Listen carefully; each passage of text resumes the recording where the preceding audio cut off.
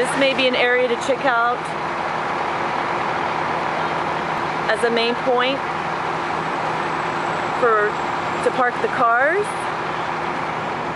You get the nice water view.